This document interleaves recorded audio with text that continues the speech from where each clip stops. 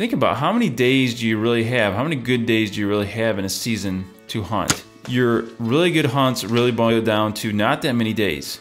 And so if you're wasting them hunting where you shouldn't be, you just lost your season.